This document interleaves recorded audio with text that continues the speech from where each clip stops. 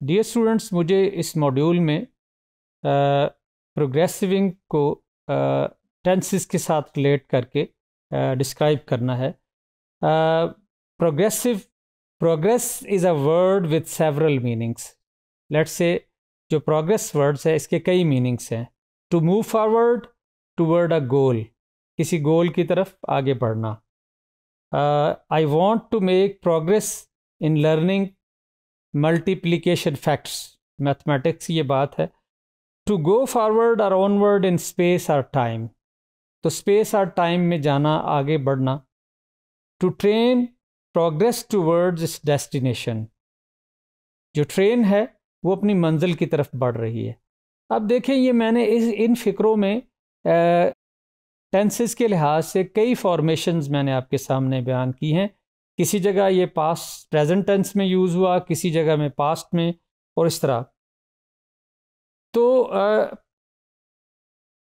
Progressive जो है, ये tenses progressive tenses are use to show actions ये एक्शंस को ज़मानों के साथ रिलेट करके शो करते हैं they take place over a period of time और present progressive the present progressive shows a continuing action जो हाल ही में कोई एक्शन जारी रहे, वो इसके बारे में डिस्क्राइब करता है। The horses are walking along the road या by the road.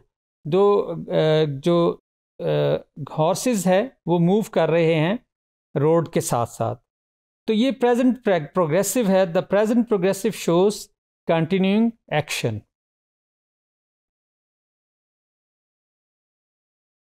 What do you notice about the present progressive present progressive ये क्या करता है? कंटिन्यूइंग एक्शन शो करता है प्रेजेंट पीरियड में।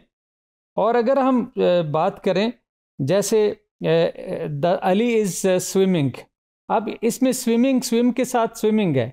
ये प्रेजेंट पार्टिसिपल फॉर्म है। जिसमें प्रेजेंट फ़र्स्ट फॉर्म के साथ आईएनजी का इजाफा किया गया है।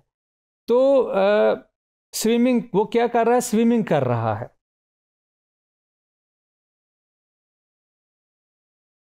जो प्रेजेंट प्रोग्रेसिव फॉर्म है, वो वर्ब में to be along with the ing form of the verb use होती है। यानी फ़र्स्ट फॉर्म के साथ आईएनजी वाली फॉर्म यूज़ करके तो इसको प्रेजेंट पार्टिसिपल हम यूज़ करते हैं। सो so, अब अगर हम ये कहें कि present progressive can use can you describe the caterpillar's action using action progressive form तो उसकी एग्जांपल ये है the caterpillar is crawling caterpillar crawl कर रहा होता है तो अब इसमें जो प्रोग्रेसिव होगा, उसमें present progressive crawling the caterpillar is crawling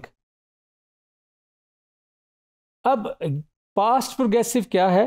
कि ये माजी में किसी काम के होने को ज़ाहिर करता है। The past progressive shows an an action that continued for a time in the past last night the camp fire was burning on the beach कि लास्ट नाइट कैंप फायर में बीच पर कैंप फायर बर्निंग हो रही थी। यानी ये क्या है कि कैंप फायर था बीच पर और वहाँ आग जल रही थी। तो ये लास्ट नाइट की बात है जो गुजर चुकी है।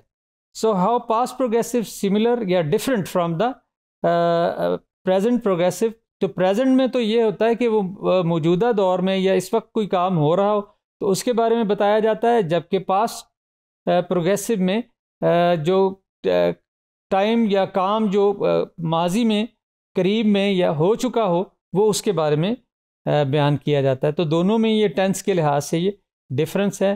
तो हम प्रोग्रेसिव प्रोग्रेसिविंग को वर्ब्स के साथ और टेंसेस के साथ मिलाकर हम इसको इस तरह यूज़ करते हैं, प्रेजेंट और पास्ट में।